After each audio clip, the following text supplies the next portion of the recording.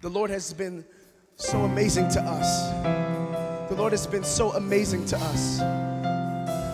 The Lord has been so amazing to us. So, my brothers and my sisters, if I could, could I get you to just lift your hands up? You just lift your hands. And when you lift your hands, I want you to talk to God and tell Him what He's been to you. Come on, tell the Lord what He's been to you. Tell the Lord what He's been to you. Tell Him what He's done for you. Tell Him how much you appreciate and love Him. I don't know about you, but the Lord has been my cornerstone. And when everything else started to fall, I came down to the last stone, and it was Jesus. Somebody, would you lift your hands all over this place? Begin to cry out to God all over this place. Come on, begin to cry out to the Lord. We love you, Lord.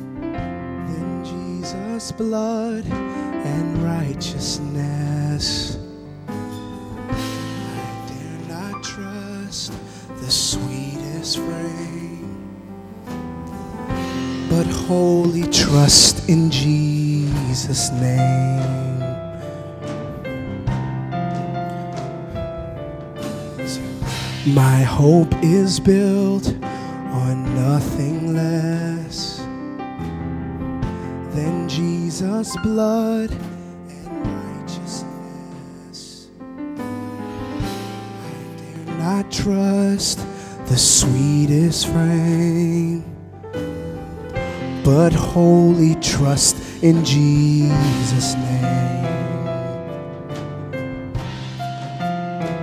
Come on, say, My hope is built. My hope is built on nothing less than Jesus' blood and righteousness. Jesus' blood and righteousness. I dare not trust the sweetest frame, but wholly trust.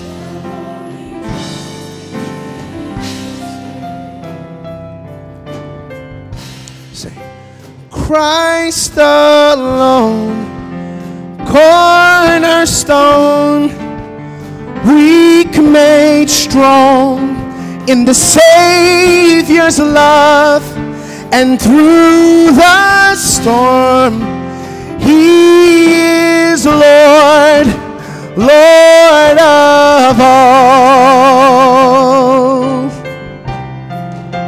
Christ alone, cornerstone, weak made strong in the Savior's love, and through the storm, He is Lord, Lord of all.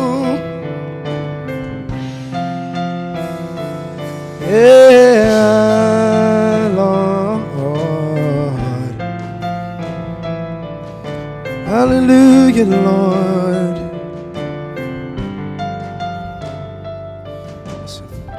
When darkness seems to hide his face, I rest on his unchanging grace. Through every high and stormy gale, my anchor holds within the veil. My anchor holds within the veil. Christ alone, cornerstone, weak made strong in the Savior's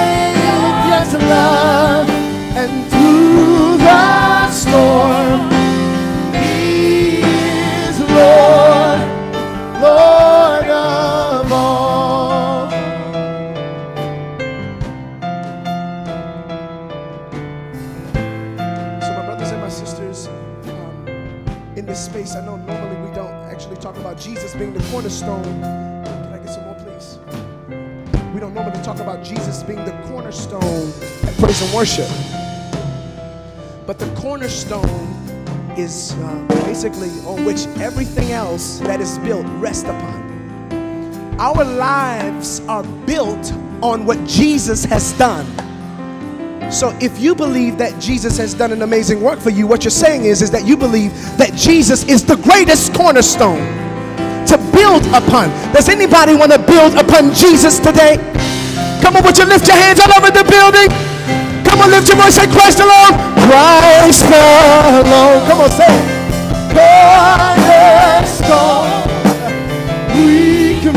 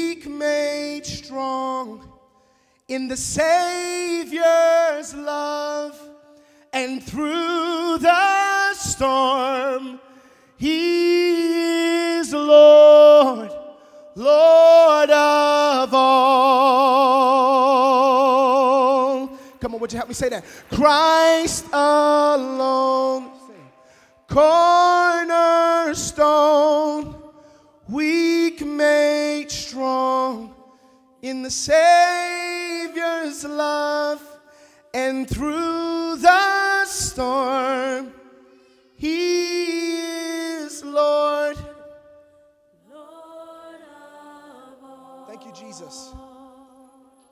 last time. Christ alone, right here. And say, Christ. Uh, come on, sing. There you go.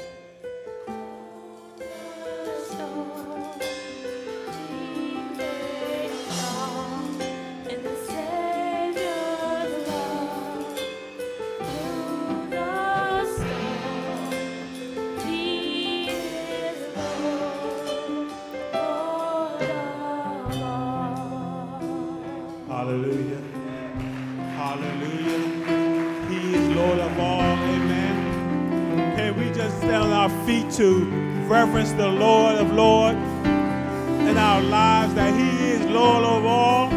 That through the storm, He takes control over the storm and allows us to come through safely through our storms of life. Amen. Glory to His name. Hallelujah. Hallelujah. Please be seated. At this time, we would like to welcome all of our guests. If you're here as a first time guest or a returning guest, we ask you to please stand so that we can greet you. Praise the Lord. Hallelujah. On behalf of Bishop Kevin Gresham and First Lady Gresham, we'd like to welcome you to Greater St. John Cathedral and to our 930 worship service. We know there were many churches you could have attended this morning, but we thank God that you came by greater this morning. Amen. And we welcome you here. We welcome you with the word joy, because we know it's a joy in serving the Lord. And we also like to welcome all of our streaming guests who are watching us via streaming line. We greet you this morning. Amen. Amen. So today is a special day here at Greater St. John. Today we are celebrating our angel, our shepherd, our bishop, Kevin V. Gresham Sr.'s birthday today. Amen. Amen.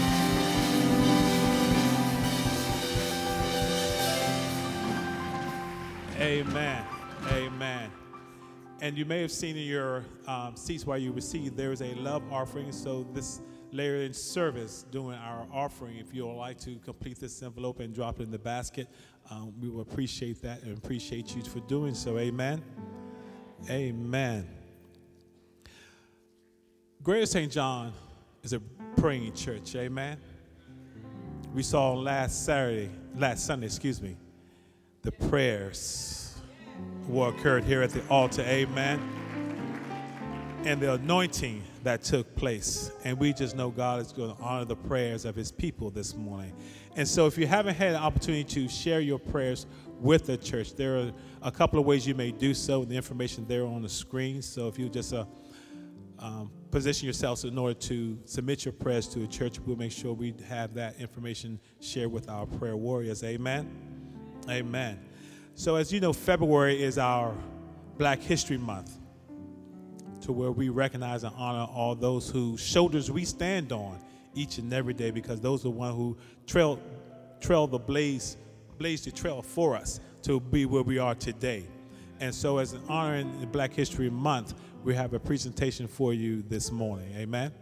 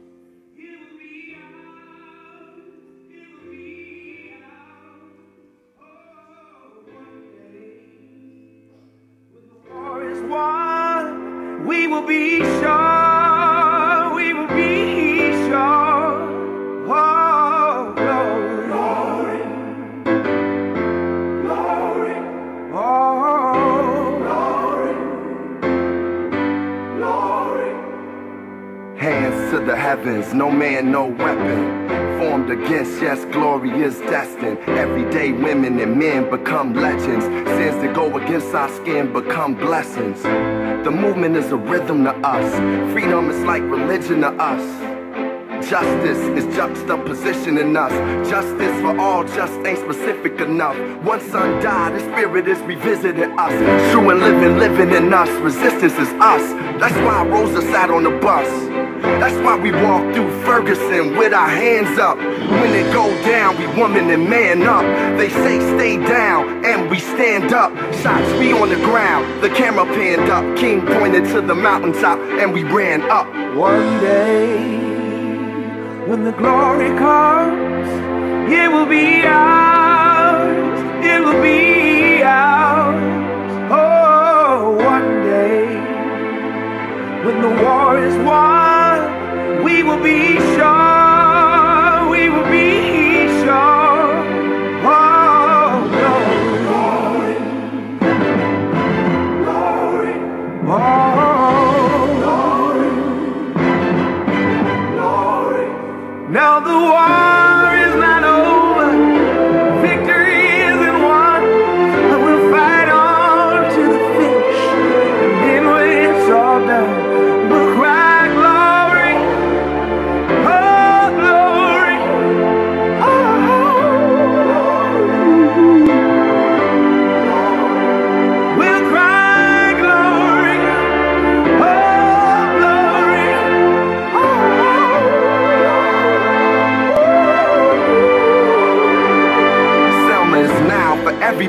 Woman, and child. Even Jesus got his crown in front of a crowd. They march with the torch, we gon' run with it now. Never look back, we done gone hundreds of miles. From dark roads, heroes, to become a hero. Facing the League of Justice, his power was the people. Enemy is lethal, a king became regal. Saw the face of Jim Crow under a ball ego. The biggest weapon is to stay peaceful. We sing, our music is the cuts that we bleed through. Somewhere in the dream we had an epiphany.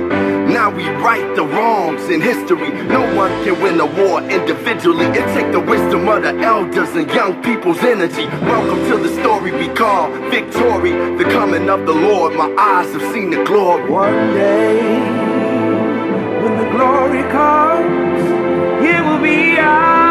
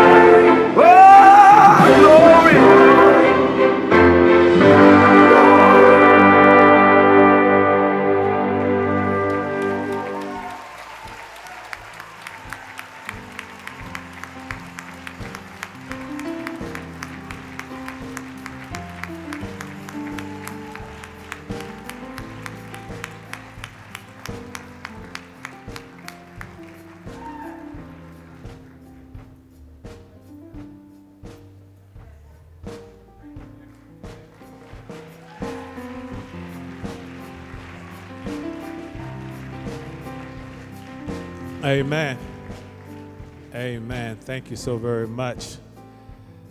You know, it's just amazing as they walk out with holding those names that we just know that how much important prayer is needed in this nation. And so that we continue to pray for this nation, pray for our leaders, so they'll have an understanding that every lives matter. Amen. Praise the Lord. Praise the Lord. Amen. So now is our tithing time. Amen. That we can come and render unto the Lord what is due unto him. Amen. So now, concerning the collection for the saints of God.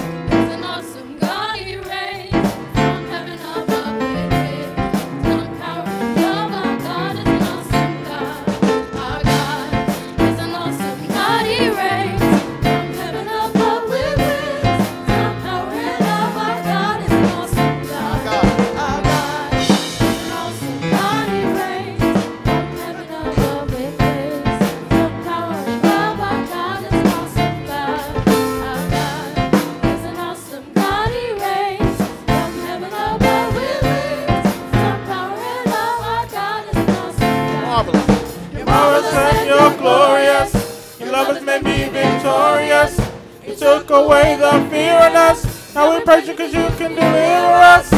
There ain't no stopping us. No, Devil, there ain't no blocking us. no, come on and clap your hands with us.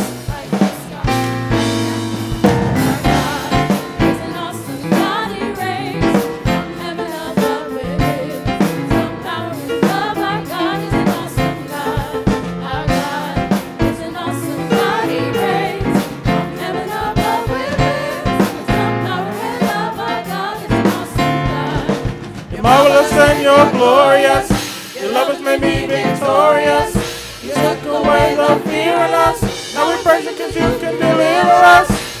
There ain't no stopping us. No, Devil, there ain't no blocking us. no, come and clap your hands with us.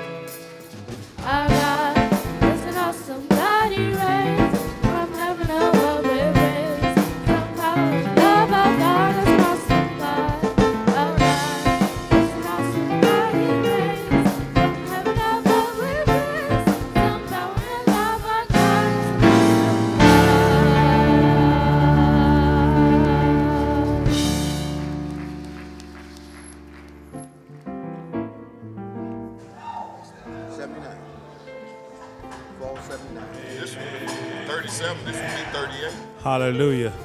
So as the children are singing, we have them up now. We're going to go ahead and sing our congratulations and birthday song to Bishop right now. Amen. Amen.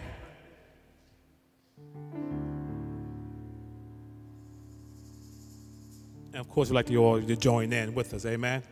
Okay. There's a corporate song here. Amen.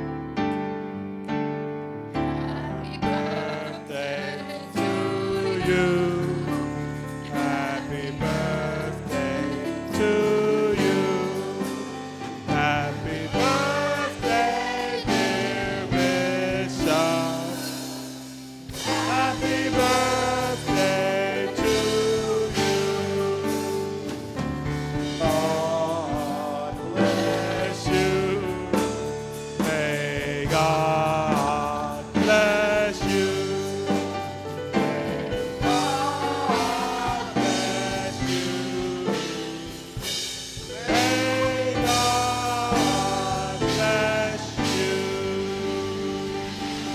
Amen.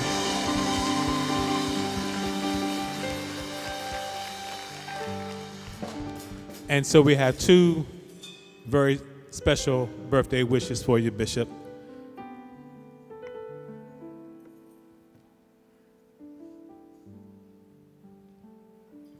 Real Gresham, this is Miss Hobson.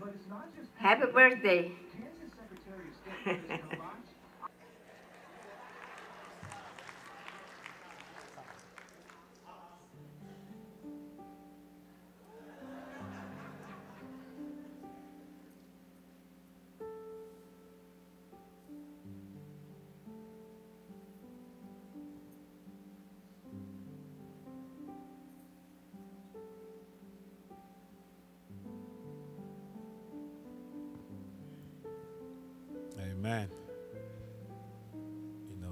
know, technology sometimes doesn't always go as we planned for it to go.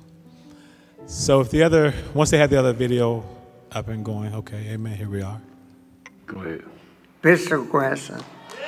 I want to first of all thank you for being my pastor.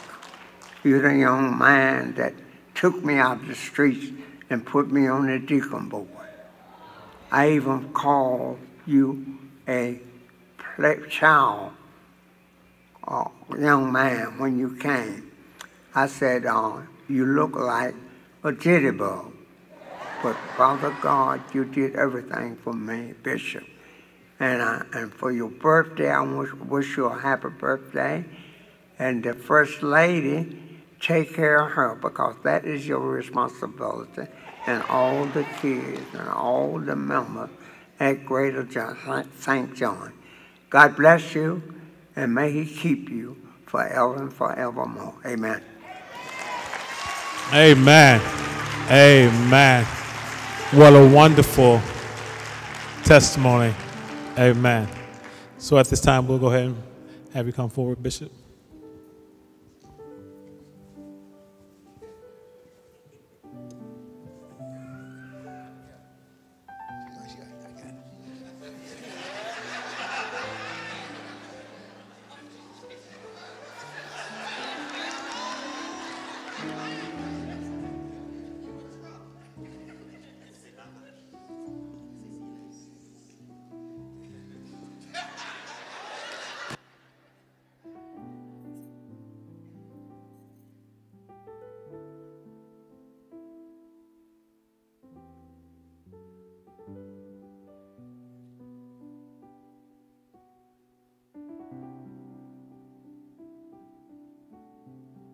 Praise God. Amen. Let's give the Lord a hand clap of praise. We thank God in this place. We really do. Amen. Come on. Now, wait a minute. Wait a minute. Something's wrong here. Something wrong here. I can't be in a church where I get more praise than Jesus. No. Come on, everybody. Everybody. I said he's the King of Kings, the Lord of Lords and the Prince of Peace. My God. Amen. If y'all going to stand in honor of me, you must stand in honor of the Lord of Lords and the King of Kings. He's done more for you than I could ever do for you, and I thank God. And so I don't, I cannot rest just allowing y'all to praise me and not praise Jesus. Amen. It's uh, indeed an honor to be here. I, I got something special, but I'm going to let it um, go for right now. I, how many of us enjoyed last week? We had a time in His. Amen. Say this with me, Lord. Keep fresh my eyes. Keep fresh my ears it was off the scale. And so in in the midst of that, I've been praying all week, how do we continue? How do we keep it going? And so God gave me a target to shoot after, and I I, I we're going to shoot after it, and I discussed it with a few people, and we got some things, and I'm going to tell you what's going to happen. But you got to be honest. Touch your neighbor, say you got to be honest. And so we're going after tangible things. See, the Spirit is only the Spirit if you have something tangible to go along with it. There's no sense in jumping up high and not knowing how to walk when you come back down. You have to have direction, you got to have focus. And so it's important. We don't want to be spiritual midgets, meaning that we know what to do on Sunday but have no clue what to do with it on Monday. And so it's important that we are both practical as well as spiritual. That we have practicality with our spirituality. That something happens as a result of us getting emotionally and excited and engaged. And that's what I'm after. Amen. Today is a special day. One of my friends from Morehouse, of course, the greatest institution known to mankind. Amen. He's a Morehouse man. He's a Dallas fan, but we're not going to hold that against him. Amen. Yeah. They went, what was it, 14 and 2? Amen. They went 14 and 2. But Super Bowl Sunday, I didn't see them for some reason. Didn't see them. Somehow they must have missed the bus, missed the boat. But we jaw like that. We jaw jack like that. Amen. Because neither the Redskins or the Ravens made it. Amen. Praise God. We were all on the couch together. That's right, baby. Watching the Super Bowl. Amen. And so I'm elated once again to have him come to help me celebrate my birthday. He'll be preaching both services, as to some of you. He is a mighty, mighty man of God. He is a scholar among scholars. He is tremendous. He just recently started a PhD program, which is actually his second PhD program. And I'm thankful to know him. I'm thankful to be in his company. I'm thankful that when the list of friends are called, I'm on Victor's list and he is on mine. A lot of people can brag about having a lot of friends. I don't have a lot of friends. That's not my claim to fame. But the friends I do have, friends I do have, I go to bat for. And I thank God that I know him as friend. Let the world record reflect that what we're about to experience and what we're about to receive is going to bless us, not just for today, but for the years to come. That's the kind of preacher Victor is. Put your hands together for the anointed man from Calvary Baptist Church, Queens, Jamaica, Queens, New York. Amen. After thou, young adults, y'all looking good. Amen. Sounding good. Amen. Praise God.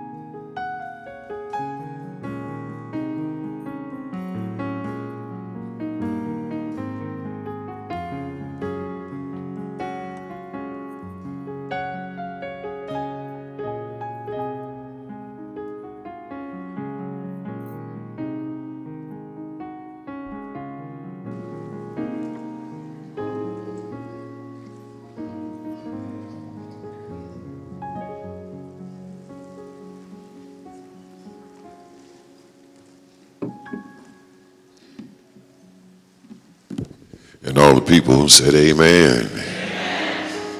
Thank you so much to my bishop, to all of the ministers, clergy persons, all of the divines of the holy orders, to Greater St. John. God bless you. I'm, I'm a little confused. If you can help me out.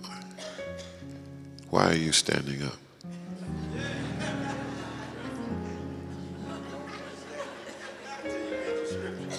They stand until I finish reading the scripture.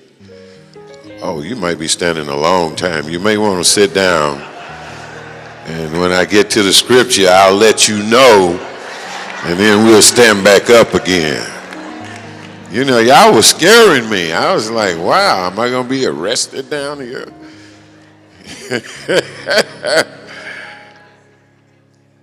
but to all of the ministers and clergy persons, especially to my bishop, my dear friend, my brother, just the mention of his name brings a smile to my face. He can be wherever in the world. I'll call him, or he'll call me. Just to hear his voice, I start smiling. Uh, I was just thinking, I met him in 1979 at Morehouse College, and we could not have imagined that one day uh, he would do all of this and be all of this. And uh, it, it's really touching. It's very, very touching. I'm so proud of him, and I am thankful, Bishop, that you consider me your friend. Thank you so much. Um, now, even though he's the bishop, sometimes you have to straighten the bishop out. You know what I mean? And uh, you heard that little song and dance he did up here about how the boys wasn't at the Super Bowl how the boys were on the couch watching the game like the Redskins and the Ravens. But isn't it interesting things people leave out of the story that they tell? Yeah, they, they do. Because when the Redskins sit on the couch and watch the Super Bowl, I, I think they have three rings on their fingers.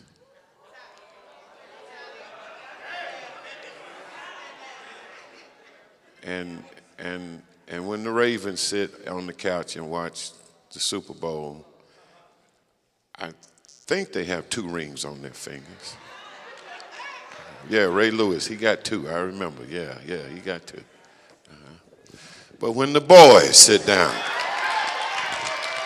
to watch the Super Bowl, now, he, he's a religious man. He's in all of this Bible and theology, but I just want to lay some math on him. One, two, three, four, five. Read them in weep, baby. Talk to me. What about them boys? There we go. I knew I liked you for some reason. So, hey, don't start no stuff, won't be no stuff. Amen. And we on our way back up. Y'all see it happening right before God is working it out right before your very eyes. He's working it out.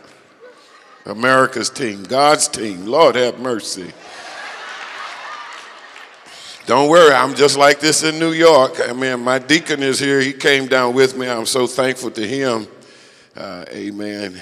Deacon Barnes, who came with me, thank you so much. But he'll tell you I'm like this about the boys in New York, and they really get on me in New York. But I find that we are loyal to the teams with whom we grew up, and I grew up and was born and grew up in Dallas, Texas, so that's just been in my blood all my life.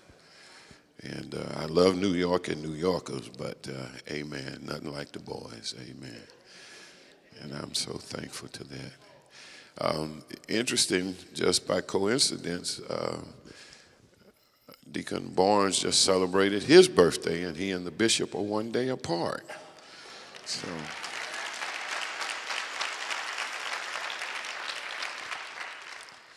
And I did bring a little birthday love for the bishop, and just to wish him the best on his birthday.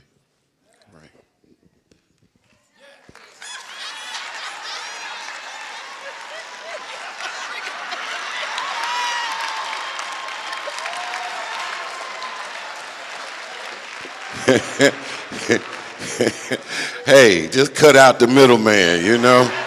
When you cut the middleman out, you know, you don't have to change it. Just go and take it to the source. That's right. She get his check, she get his birthday. like Richard Price said, you got any dreams? She get that too. Lord have mercy. Ain't no sense in the bishop with that. Just go and take it to the bank. Amen. and whether you're Raven fans or a Cowboy fans, it's still the same. Amen. Just give it to mama because that's where it's going to go anyhow. Bishop, I had my big 25th anniversary, and I was so happy. And for once, it was like really big 25th anniversary. And I put it in the bank, and I wrote a check to Cornell University, and that was the end of the big anniversary. So I said, well, thank God I got three kids, put them all through college, two through Cornell University, and I made my last tuition payment. Somebody give him praise and glory. Hallelujah. So thank you, um, my bishop. Thank you. I thank God for our friendship over these years. And you know, I think my problem is that I'm not a bishop because, like, bishops know stuff other folk don't know. And I'm like, well, how does this happen? And I don't know it. I'm a Morehouse man also. I went to Morehouse. I'm a pastor. How does this happen? And I don't know it. Wow. But the bishop knows. That's why, amen. Uh, you know, Jesus made a very interesting statement that people overlook so often. He said, Make unto yourselves friends of filthy mammon. Do you know what he said? He said, Get you some friends that's got some money. Because if you broke and your Negroes are broke, they can't help you. Read it. It's in your Bible. He says, Make unto you. He say, The children of this world have always been wiser than you, holy folk. Make unto yourselves some friends of filthy mammon. That's what he referred to it as money, pilfer. So that when you are in need, Lord have mercy.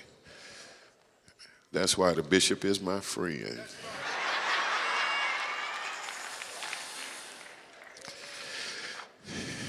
Now, speaking of technology, the young folks showed me how to get the Bible on my phone. Because I was, uh, um, I was uh, getting on them about being on their phone while I'm preaching. Hello. They were like, oh no, Rev, we're not on the phone while you're preaching. This is the Bible. We got the Bible on the phone. So it's just a new world. And uh, speaking of technology, so I call myself instead of coming in here with my big, you know, you ever seen those Christians? They got the big Bible and it's all ruffled up, you know, and you know you're finna get a real beat down.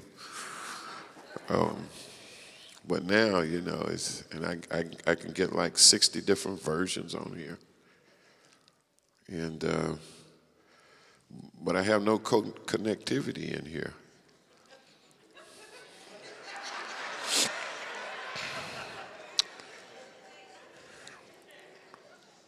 So God always works it out because I don't need any connectivity in here.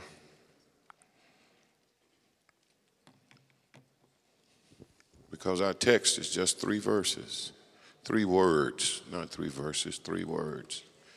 And you don't have to stand because you already know it.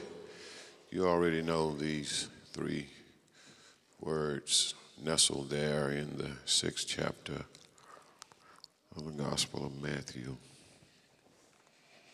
Just simple. Thy kingdom come.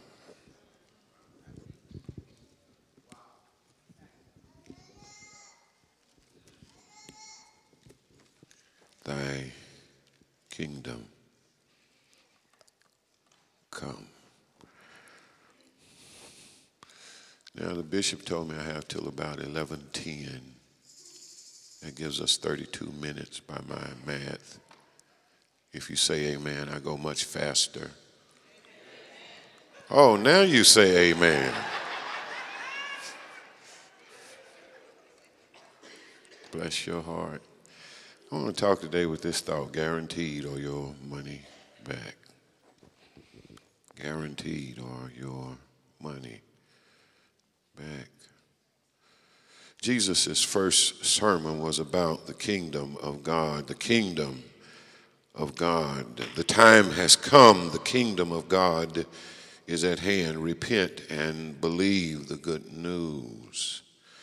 If his first sermon was about the kingdom of God, the book of Acts tells us that his last sermon before he took a chariot back to glory was about the kingdom of God. After his suffering, he showed himself to the apostles and gave many convincing proofs that he was alive. He appeared to them over a period of 40 days and spoke about one thing the kingdom of God. The kingdom is like, he would say, Oh, help me, Lord. Yes. It is like treasure hidden in a field when a man found it. He hid it again. And then in his joy, he went and sold all that he had and bought that field again. The kingdom of heaven is like a merchant looking for fine pearls. When he found one of great value, he went away and sold everything he had and he bought it.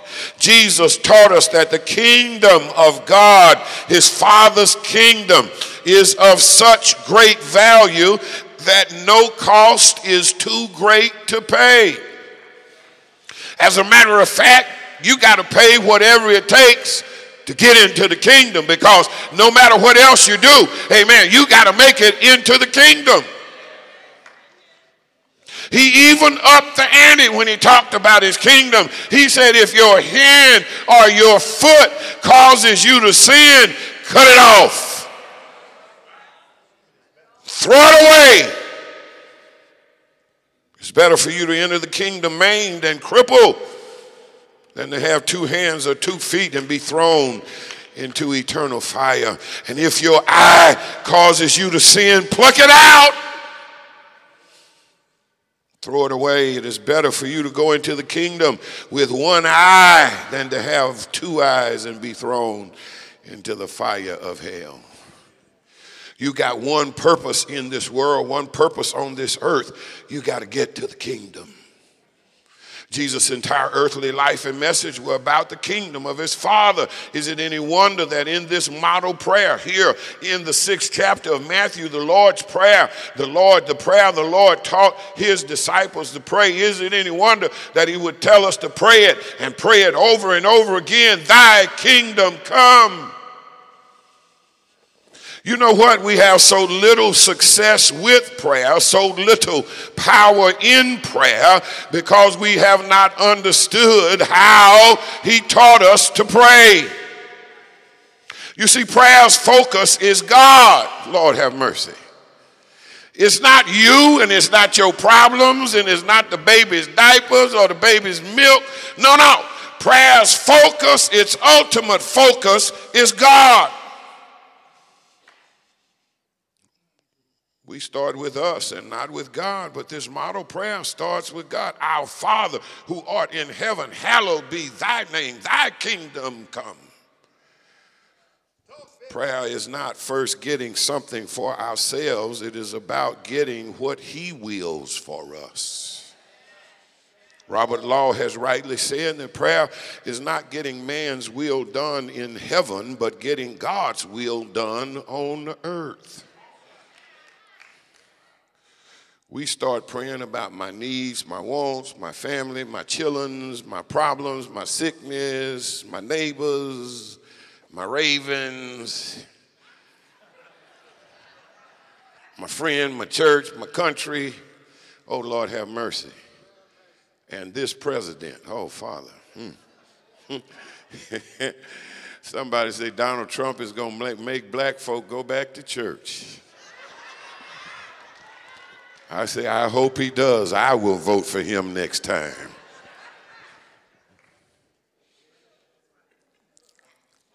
Later in this very sixth chapter of Matthew, Jesus says, Seek first the kingdom and his righteousness, and all of these things will be given to you as well. Jesus revolutionized our understanding of what powerful prayer really is. Prayer is about God, it is about your relationship with God. Jesus began with God Father, your name be hallowed, your kingdom come, your will be done. We all pray too, too little, and most of us, when we do pray, we pray backwards. We start with ourselves, and God is lucky if we mention Him or His name or His kingdom or His will at all. You scared to pray for God's will because you're scared it might be different from what you want. When you don't understand that if God wills it for you, it's the best. And what you think you want ain't what you need. Somebody ain't praying in the house today. How much time do we devote to God's petitions and how much of our prayer is about me, myself, and I? When we learn to pray Jesus' way, a great deal of bad prayer, wrong prayer will cease, and a great deal of true prayer, powerful prayer, life changing prayer, world shaking prayer, Satan defeating prayer, soul saving prayer, healing prayer, church reviving prayer, joy spreading prayer, life giving prayer, victorious prayer. Lord, have mercy if you just say, Thy kingdom come. When we learn to pray Jesus' way, our prayers will be answered, guaranteed, or your money back. This wonderful second petition of this masterpiece, pun intended, it is a masterpiece and it is a piece given by the master. This masterpiece we call the Lord's Prayer Your kingdom come. Jesus said many things about the Father's kingdom. He said, My kingdom is not of this world. And yet he said, My kingdom is already here. Still, yet he said, My kingdom is not a geographical territory, but my kingdom is on the inside of you. Americans eschew all of this talk about a kingdom, for if there's a kingdom, it implies there is a king. After all, we live in a republic, a democracy where there is no king. Remember, we got rid of the last king we had. We believe that democracy is the best form of government. We believe in parliaments and congressmen, congresses voting and the right of the majority to govern.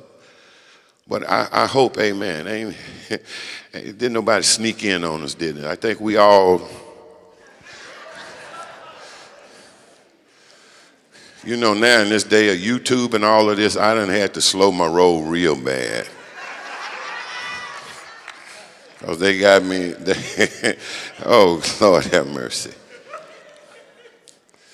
If anybody ought to know how bad a democracy can be, it's us black folk. We have been the victims of their democracy for almost 300 years. When Jesus spoke of his Father's kingdom, he understood that his Father is the king. In a monarchy, there's no voting. There is no parliament. There is no Congress. There is no right of the majority to govern. There's just the king and his will, his word, his edict. Amen.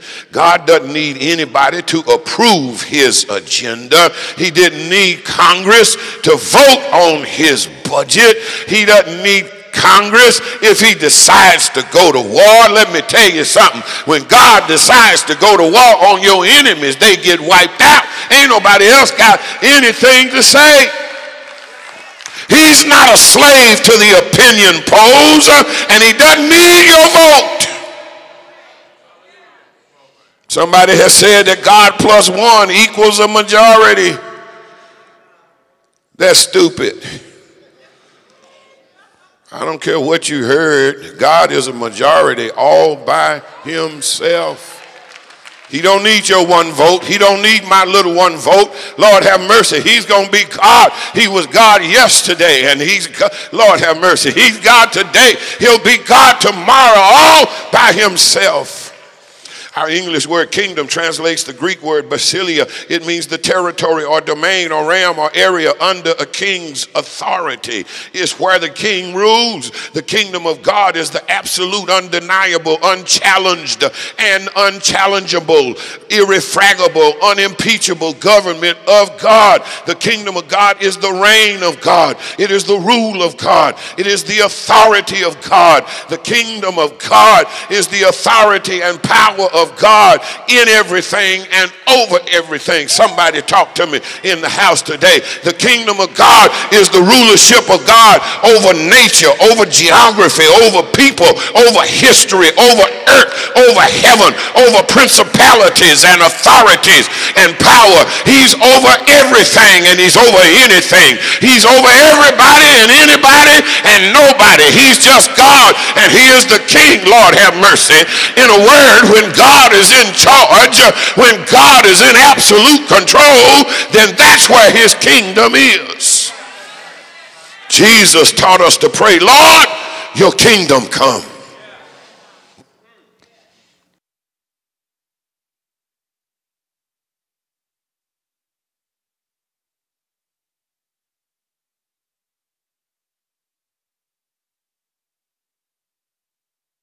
Twenty more minutes. Come on, work with me. Say amen. Tell your neighbor, say, neighbor, you better say amen. Amen. Amen. Amen. I want to talk about the kingdom in three dimensions. First of all, God's kingdom has to come in you. Secondly, it will come in human history. And thirdly, it will come in high heaven. It's got to come in the human heart. It will come in human history. Amen. Don't y'all think Trump is by accident. I'm telling you, my God is up to something. Oh, somebody pray with me in the house today. It's going to come in the human heart. It's got to start with you, right with you. God's kingdom is right there. And then in human history, in the affairs of men. But ultimately, it shall come in high heaven. Well, let me run on. Here's the human heart. Salvation is the entrance into the kingdom. The kingdom of God grows one soul, one person, one life at a time. Every person who accepts and receives Jesus Christ uh, as your personal Savior becomes a citizen of God's kingdom. Lord have mercy. When we pray that God's kingdom come, we are praying that every person will receive Jesus Christ and be saved because that's the only way the kingdom can come. Amen. In its essence, the Lord's Prayer is an evangelistic prayer. In other words, if you pray thy kingdom come, you ought to be out telling somebody about the kingdom. We are praying that every person, every man, woman, boy, girl on this terrestrial ball will accept and receive Christ and be saved. It is an evangelistic prayer. The kingdom begins with each individual heart. The more people who are saved, the more the kingdom grows. the area of God's kingdom is not a borough or a city or a state or a nation or a country, but it is the human heart. The kingdom of God is within you. The reign and rulership of God begins in the individual person. He's got to be king in you. When we pray, Your kingdom come, we are praying that God will be the king of our personal lives. Unbelievers must receive Him as Savior, but believers have a different problem. We've received Him as our personal Savior, but some of us have not made Him King of every area of our lives. Like the woman who kept the living room clean, but left all the other rooms dirty and untidy. Many Christians have asked God to be king of part of their lives. Usually that's that little two hours out of the 168 hours in the week you give him on Sunday. You say, now, you can handle this, God. When we pray, Your kingdom come, we are praying. When you say, Your kingdom come, when you tell God that, when you pray that prayer, you are praying for God to be king of every part, every facet, every dimension of yourself. Ask God to be the king of your daily devotional life, your prayer life, your scripture reading. Thy kingdom come. Pray that God will be king of your money your tithes and your. I, I, I don't understand people who don't pay their tithes. Lord have mercy. That there is a part of you that you withhold from God. Really? That's incomprehensible to me. You know, some of y'all are looking over that way, and I'm like, why they not looking at me? But they got a big screen over there. Wow. And you know, I'm looking at this guy up here on the balcony here. I'm like, man, he's scaring me.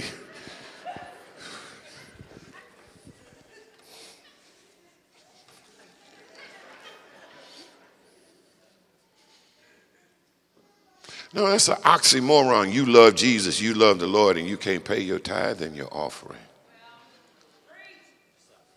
So, who's king of your life? That's right. Pray that God will be the king of your ministry and your service. Amen. You're not here to serve the bishop or reverend. No, you're here to serve God. It ain't about who's the director of the music. Amen. Amen. Are you here to lift up your voice in prayer? You're singing for your king. Pray that God will be the king of your family life. Amen. So that husbands will love their wives and wives will respect and reverence their husbands. So that children will obey their parents and parents will love their children. Lord, your kingdom come. Pray that God will be the king of your intimate and sexual life. Singles, pray that, God will be the king of your dating life. So that you can learn that true love waits.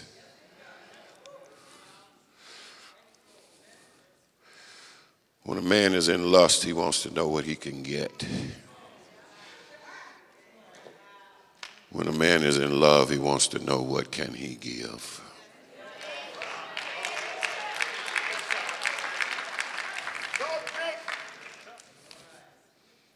Brothers, you can't chase half the women and sleep with the other half and then get up on Sunday and say, God is my king. Do you hear him say, Why do you call me Lord? And you don't do nothing I tell you to do. Oh, help me. I told you they got me on, t- they, they got a posse out after me, y'all. But the bishop is my friend. I'm all right in the house today. And my gays and my lesbians, we love y'all. But you can't continue, continue to do what is unnatural and an abomination to Him and still claim that God is your king.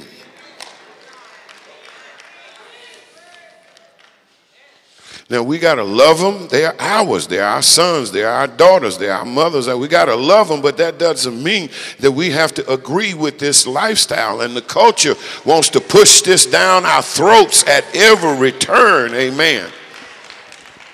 And they say, why you pick on the gays? Let me tell you something. Nobody's picking on the gays, but it's the only sin that seeks public validation.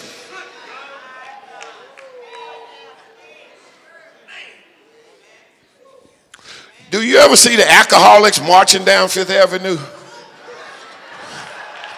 We want our rights.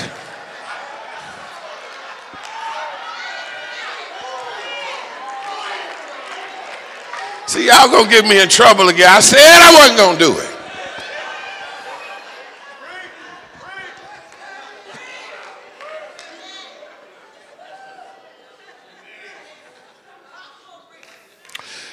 And listen up, listen up, listen. I got to rush on. Lord have mercy. Y'all got me sad trick here. Listen, listen. I will fight for every right. They have every right that every other American has. I will fight for that. Listen very clearly. I will fight for every right for people to do what they choose to do. But let the church, if the world don't know, Jesus said they ain't gonna know. The Spirit is in you. They don't know. What, what I get angry about is when, amen, the church will not stand on the truth and on the word. And let the world do what it's going to do. The world is going to go to hell, but you are the blood bought and blood washed people of God. And we don't have to water down our message for anybody. We can stand on the truth of God and speak the word of God. I ain't on no witch hunt. I don't care what you do when you go home. I ain't gonna be standing outside peeping through your window. It ain't my job to live your life, but it is my job to tell you what thus saith the Lord. Oh God, let me run on here today. Pray that God will be the king of your entertainment and leisure life. What you read and what you watch on TV, that, that's got something to do with the king as well the music to which you listen, the places you go, the people with whom you hang, Lord have mercy, and even the friends you keep. Pray that God will be the king of your political life, how you vote at the polls, your contributions to the community, your work with the youth and the children, the elderly, and the seasoned saints. King of thy life, I crown you now. Yours will the glory be, lest I forget your thorn crown brow. Lead me to Calvary. He's got to be king of me. Amen. Tell your neighbor, he's my king. Lord have mercy. Lord have mercy.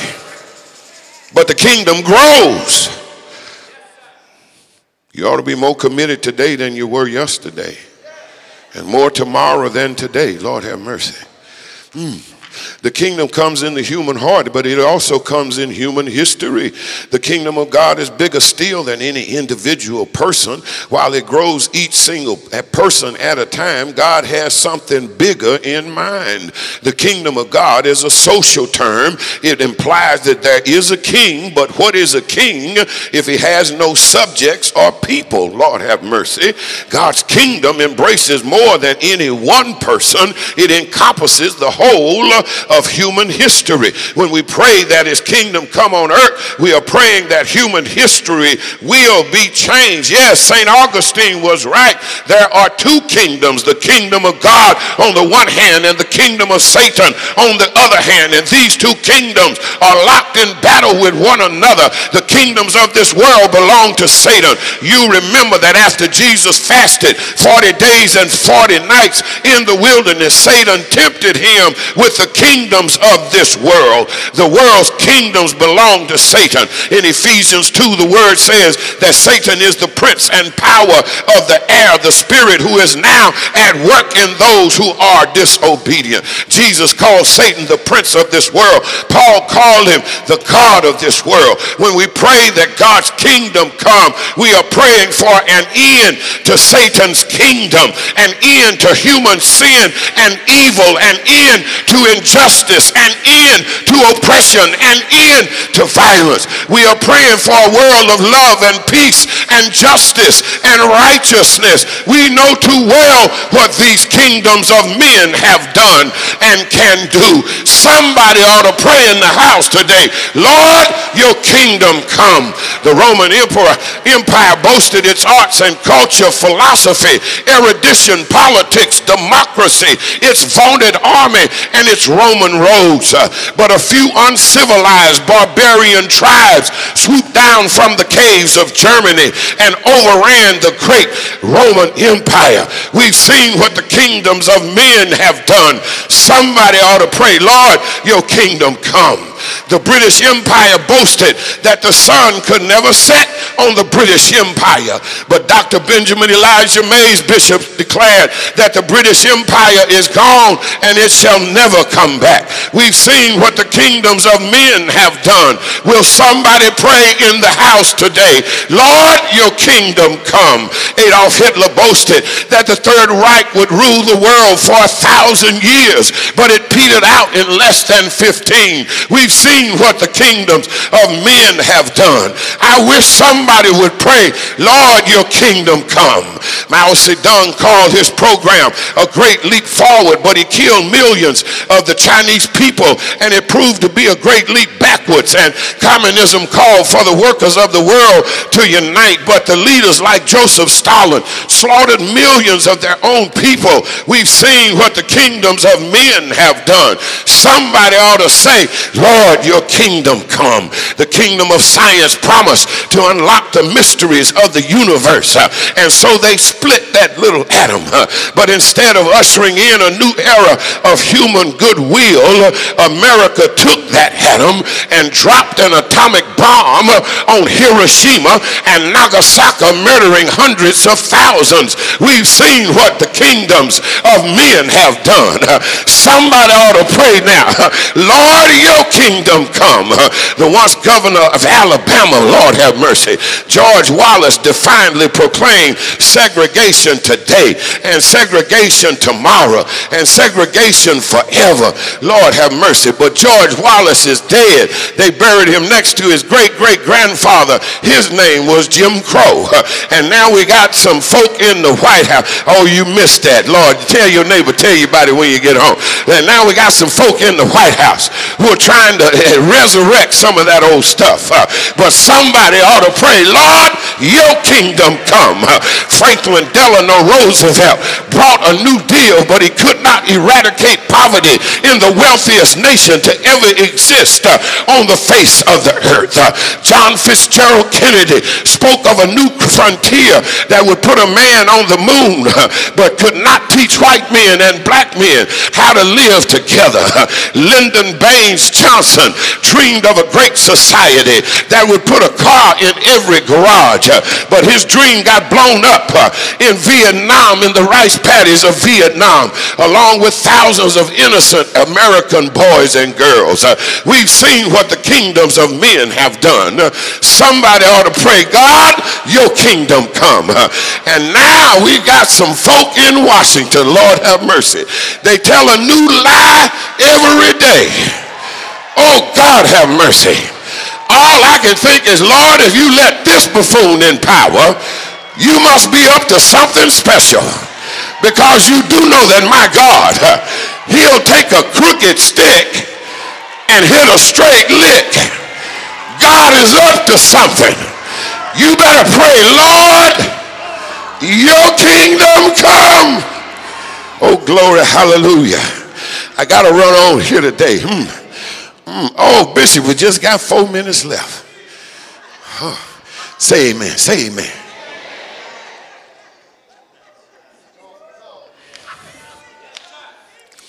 Hmm. I ain't got time to talk about Trump today.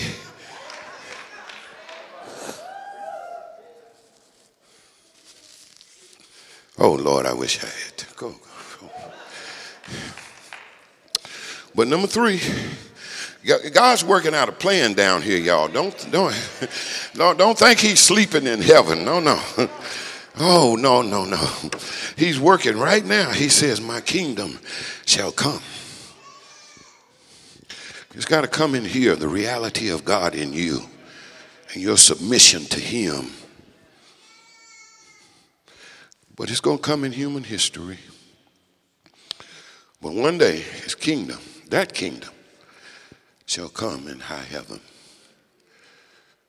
It is hard to pray for something long enough without that prayer changing you. See, you think prayer is about getting something from God. No. if you pray for your enemy long enough, you, you'll start loving your enemy. Oh, I ain't telling you what I heard. Lord have mercy. Mm-hmm. Mm, you want to change your attitude toward? Just start praying for you. It, it's hard to pray for somebody and then hate on them at the same time.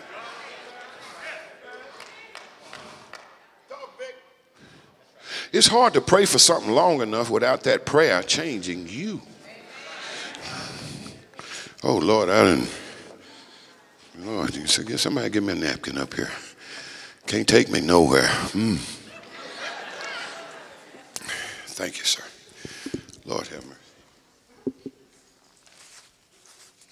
No wonder y'all looking at me crazy. That wasn't funny. It's hard to pray for something long enough without that prayer changing you. Two minutes. The Danish philosopher Soren Kierkegaard said that if you pretend to be something long enough, you will eventually become what you pretend to be. The Danish philosopher Soren Kierkegaard said if you pretend to be something long enough, you will eventually become what you pretend to be. So, you know what I pretend to be? Rich. I go to the store and give me that, that, that, that. Ain't got no money. But Kierkegaard said if I pretend long enough, well, if you pray for something long enough, you will eventually work for that for which you pray. In other words, the more we pray for God's kingdom, the more we'll fight and work for love and justice and peace and righteousness. But as long as we are on what C.S. Lewis called enemy occupied territory, we can work for the kingdom, we can fight for the kingdom, we can approximate the kingdom, we can get near the kingdom, but we can't and we won't achieve the kingdom. But what we can't do, God will do. And what we can't do up here, down here, he's going to do over there. Oh, somebody ain't praying with me in the house today. What we can't do, God shall do. What we can't do, God is going to do. Jesus did not tell us to pray, Lord, help us to bring in your kingdom. No, we can't do that. He told us to pray, Lord, your kingdom come. We can't bring it, but he can send it. One day, every eye shall behold him, and every knee will bow before him, and every tongue will confess that Jesus Christ is Lord to the glory of God the Father. When the kingdom comes in the human heart, that happens in time. When it comes in human history, that happens in time. But one of these old days, time shall be no more. And when God gets tired of these little paper kingdoms, uh, and God does get tired, uh, just read your Bible. Uh, if you don't believe it, ask the people of Noah's day. If you don't believe me, ask the people of Sodom and Gomorrah. When God gets tired uh, and he's accomplished all of his purposes in the earth, time shall be no more and his kingdom shall come. Guaranteed or your money back. The Lord himself shall descend from heaven with a shout, with the voice of the archangel, and with the trumpet call of God. And the dead in Christ uh, shall get up uh, and rise, and those who are alive and remain uh, shall be caught in the air to meet him. And forever we shall be with the Lord. Guaranteed. Your money back. Then comes the end when he shall have delivered the kingdom of God, even the Father, when he shall put down all rule and all authority, all power, for he must reign until he has put all enemies under his feet. and the last enemy to be destroyed shall be death himself. For one day, we're going to have death's There'll be no more dying. There'll be no more crying. There'll be no more pain. There's going to be joy. Glory to his name. Yeah. Yeah. Yeah. There'll be peace. There'll be love. Ain't he all right? Ain't he all right? Ain't he all right?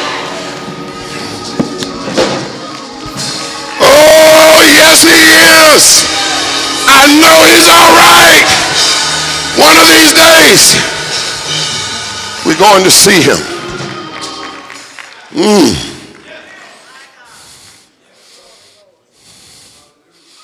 Over there where the gold is so cheap, they just lay it in the streets.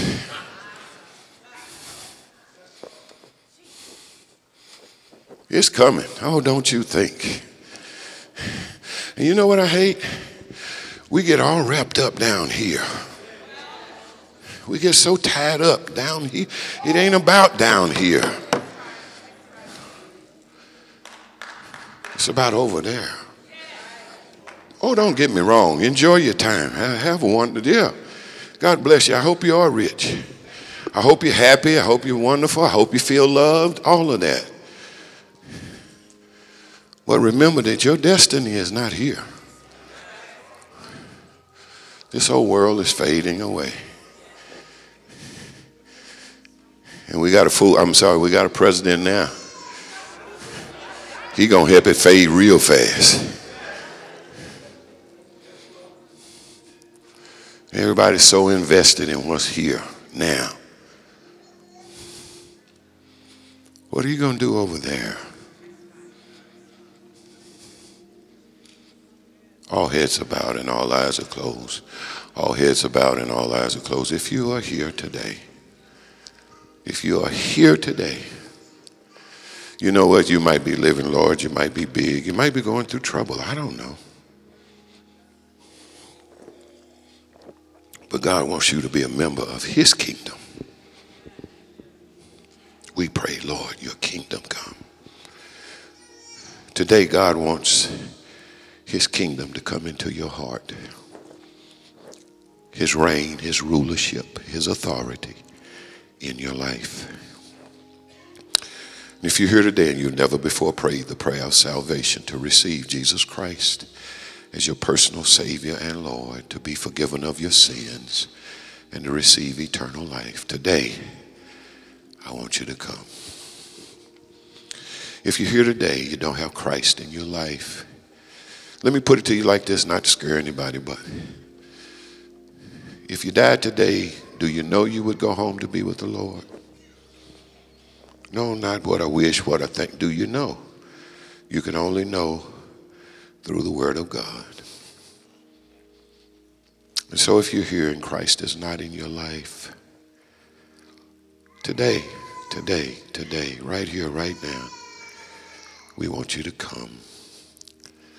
In a moment, we're going to sing, and when we sing, you come. That's your cue. You come. And just say, Lord, I want you to be my king.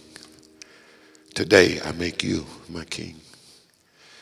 Or if you're here today and you've never before been baptized, baptized the way Jesus himself was baptized, the way he commanded his disciples to be baptized, as an indication that he's king of your life. I want you to come. The bishop will sign you up for baptism.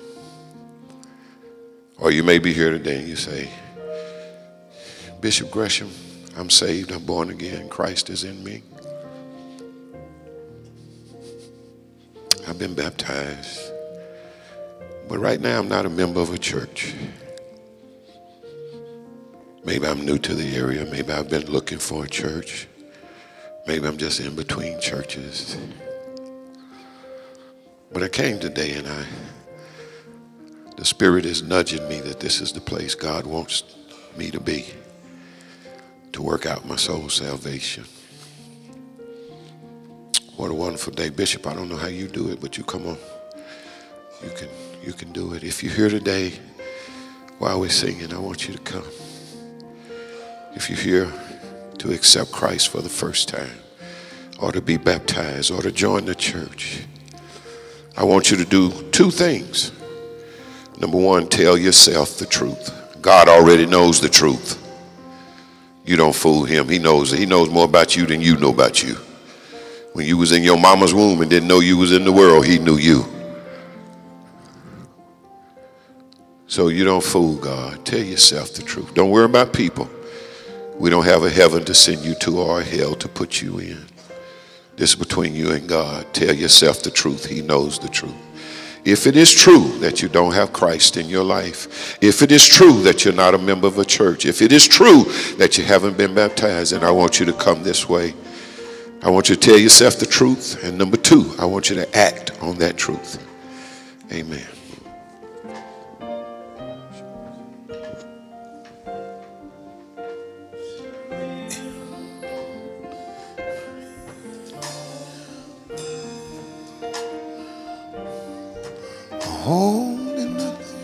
Is there yet one?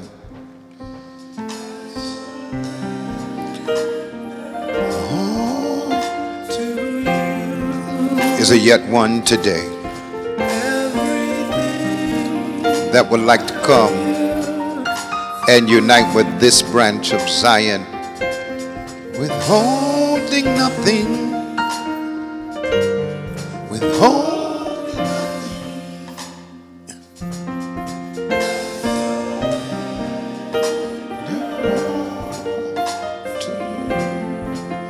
Is there yet one, my sister? Is a yet one, my brother?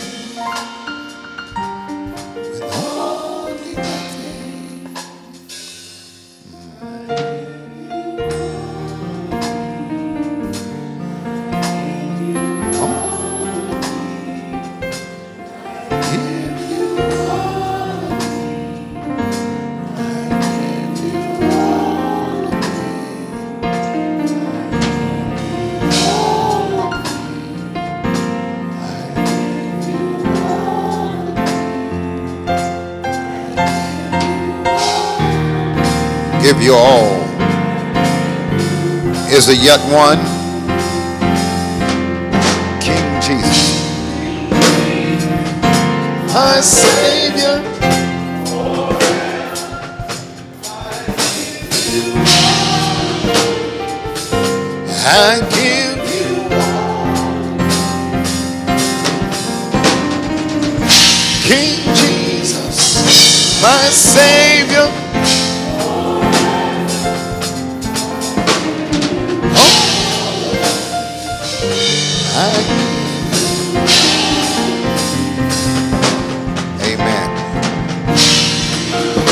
Your hands together for a saved house, and we thank God forever.